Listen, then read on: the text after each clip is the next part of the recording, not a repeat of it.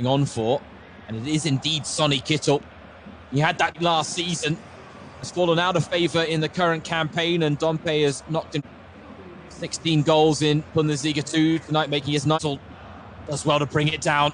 Did it to be Königsdörfer ready to spring the counter attack. They get away. Besides, far from cancelling. They have been one of the most clinical. That lets him down a little bit in the physical nature of this division. Look at this, though, right in that chat. Königsdörfer sells the dummy well. Königsdörfer passion some space.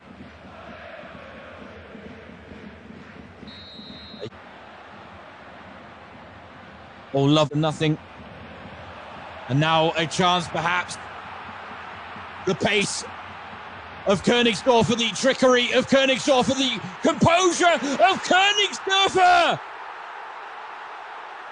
We have a winner, ladies and gentlemen. A blistering one man solo counter attack.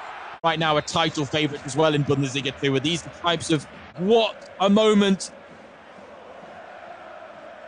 Their dominance